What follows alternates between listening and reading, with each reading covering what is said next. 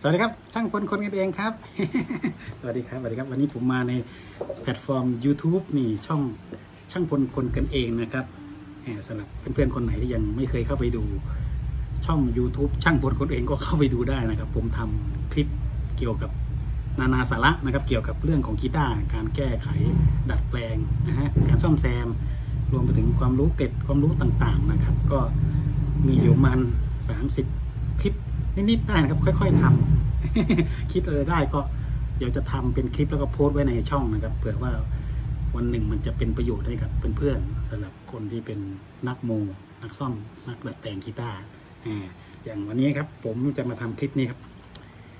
นี่การติดตั้งลูกบิดประเภทประเภทนี้อันนี้เป็นเฟนเดอร์นะครับ แต่ที่มันสำคัญไงถึงต้องมาทำคลิปนี่ลักษณะการยึด การขันยึดมันไม่เหมือนชาวบ้านเนี่ยมันเป็นอย่างเงี้ยเขาเรียกอะไรเป็นเขี้ยวเหรอเป็นเดือยหรือเป็นขาอ่าอ่าส่วนใหญ่จะเจอกับลูกบิดเนี่ยนี่เผื่อเพื่อนๆไปซื้อลูกบิดประเภทเนี้ยซึ่งมันก็มีทั้ง Fender ที่ผมเห็นนะยามาฮ่าบางรุ่นก็เป็น Schaller ก็มีมีหลายรุ่นนะอ่าเผื่อว่าเพื่อนๆไปซื้อลูกบิดประเภทนี้มาแล้วอยากจะมามูติดตั้งใส่กับคอกีตาร์เรานะครับ บางทีอาจจะไม่ต้องไปหาช่าง ดูคลิปนี้แล้วอาจจะทำเองได้นะครับ ลองดูนะครับ แต่ว่าผมน่ะเจาะติดไปแล้วห้าตัว ผมเพิ่งมาคิดได้ว่า เออทำไมไม่ทำคลิปนี้ ให้เพื่อนๆดู เออ แต่ก็ไม่เป็นไรห้าตัว เหลือตัวหนึ่งก็ พอพอจะได้เป็นแนวทาง อย่างน้อยติดตั้งทำให้ดูสักตัวก็พอได้เป็นแนวทางแล้วก็ทำเหมือนกัน โอเค เดี๋ยวมาดูกันนะการติดตั้งลูกบิดประเภทที่มีเขี้ยวยึดหรือขายึด หรือเดือยนะผมก็ไม่เรียกไม่ถูกแต่ประมาณนี้เดี๋ยวไปดูว่าผมเล็งเจาะยังไงนะครับอะเดี๋ยวไปดูกันนะครับ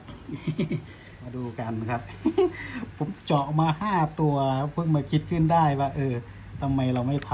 ำทำตัวอย่างในการเจาะให้เพื่อนๆดูกันเผื่อเพื่อนๆไปซื้อลูกบิดชนิดนี้มา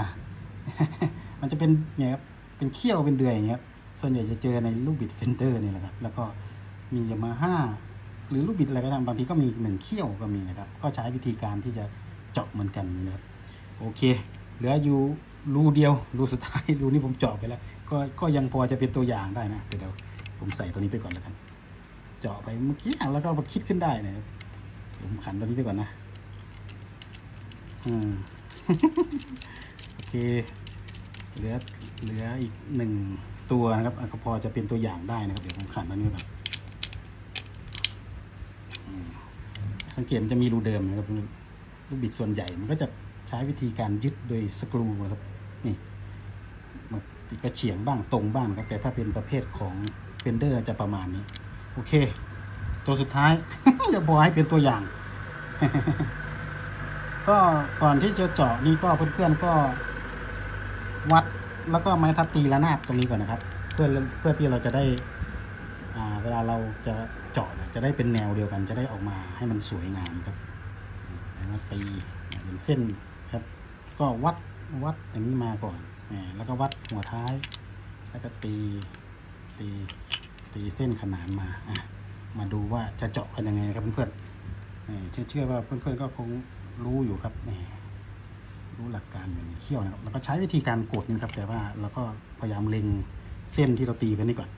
แต่ก่อนจะกดนะครับ พอดีนะครับลูกบิดมันไม่ได้มันไม่ได้วางตาม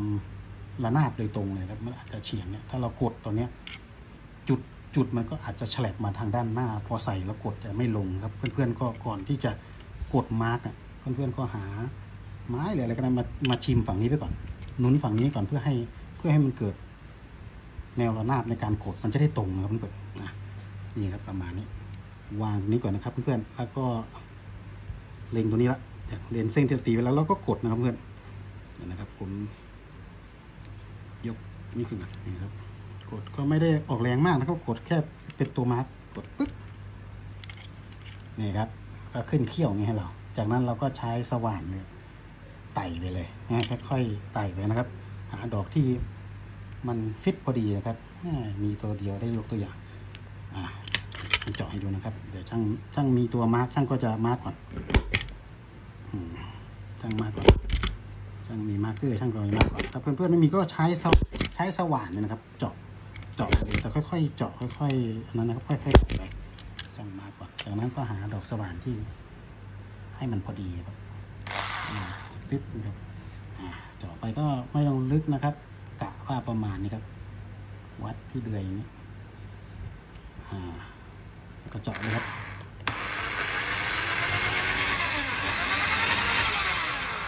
ซึบนี่ดอกสว่านนี่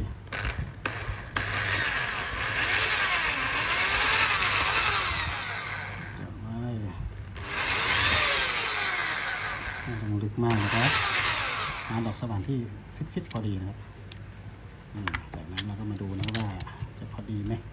นะครับ กดเข้าไปฟึบอืมนิดหน่อยนิดหน่อยมีเหลื่อมๆด้านหน้านิดหน่อยแต่ไม่เป็นไรครับ พอเราขันก็ เดี๋ยวมันก็จะหนีบนะครับ ประมาณนี้นะครับเพื่อนๆ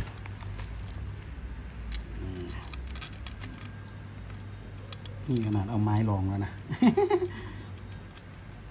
เดี๋ยวนะครับขันนี้ก่อน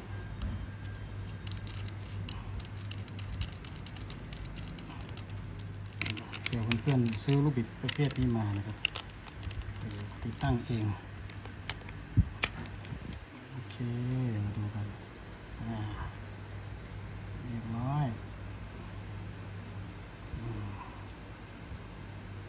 ตัวห้ากระดกลักขันเข้าไปอีกสักหน่อยครับเดี๋ยวก็แนบครับอ่าโอเคน่าจะพอได้ครับ